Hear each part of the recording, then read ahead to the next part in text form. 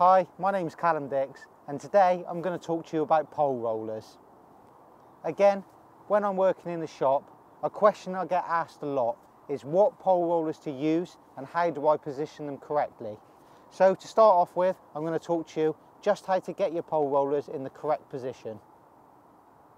First of all, I believe that when I'm fishing under 11 metres of pole, it's one pole roller is adequate. You don't need to use two. It's not a long enough pole to have to use two pole rollers. The first thing I do is I get the top kit that I'll be using that day for my fishing session. I put it onto the pole, I ship out and I find the balancing point. So wherever the pole is at its balancing point, so you've got the same amount of weight of pole behind your knees as in front of your knees. When you're in the fishing position sat on your box, that's where your one pole roller goes for fishing under 11 metres. Very simple. The one thing you also got to think about is having that one pole roller at a slight angle. Most people will fish dead in front of you when you fish commercials. So what you need to do is strike when you hook into a fish, bring the fish out of your peg and ship back. If your pole roller's dead in front of you, two things can happen. You can hook the fish and leave the fish in your peg where you're catching to scare all the other fish. The other thing that can happen, if you start shipping straight back after you've hooked a fish, there is a chance that the fish can pull your top kit or some of your sections off of the pole.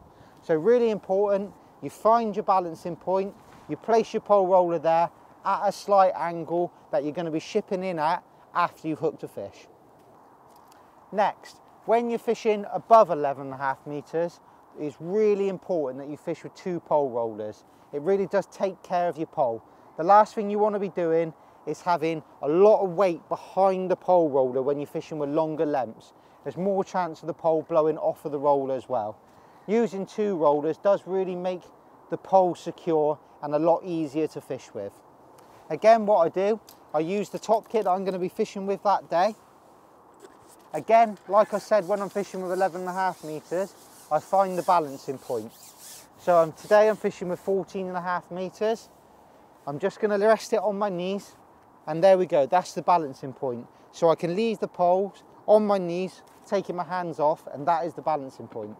That's where my first pole roller goes. The second pole roller goes when I've shipped in and taken the top kit off and putting it down and uh, you can use a pole sock but if you're not using a pole sock the second pole roller will go a section in from the end so the first pole roller is at the balancing point at the longest length you're going to be fishing that day. The second pole roller is a section in from the end. Really, really simple. Again, like I said, when you're using 11 and a half meters, you want to position your pole rollers at a slight angle. So once they're at a slight angle and you've got the first one at the balancing point, second one a section in from the end, it really does make pole fishing at longer lengths very easy. Just spoke to you about positioning of pole rollers. Now I'm going to talk you through which pole rollers I use and the range of pole rollers that Maver UK make. To start off with, I'm going to talk to you about the Reality pole roller.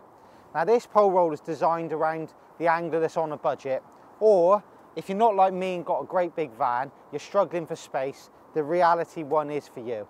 It's slightly smaller than the other pole rollers in the range. It's got a slim EVA rollers. It's still got the weight hook to weigh it down nice and stable when the conditions are bad and it's still got extendable legs so you can get it a decent height off the floor. It's actually the pole roller I use for just resting my landing net on when it's in the pole crook. It just leans, my pole landing net handle just rests on it, keeps it a nice height off the floor but it's not too high. The next pole roller in the range is the Maver MVR. This is the medium one in the range. It comes in two different types. We've got a twin pole roller and then we've got the flatbed roller. If you're breaking down twice on commercials like I will be today because I've got a short line and a long line, the twin one is for you. Because when you're fishing short and shipping back on it, you can separate the two lengths of pole. If you are fishing on more natural venues and you're fishing for small fish and you want to be really quick and you don't want to have to look for your pole roller, the flatbed one will be for you. Again, like the reality, it's got the weight hooks on. it actually triple extends the leg so you can get it even higher than the reality and it's got spirit levels on so you can get it dead level making shipping your pole out as smooth as possible. A really great price point for a medium roller. The last one we do in the, in the range is the top dog, the one I like to use most myself. It's the Maver's Signature Pro Roller.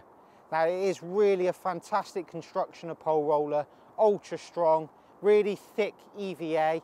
Again, like the other two rollers, it's got weight hooks on, so you can weigh it down in the worst of conditions.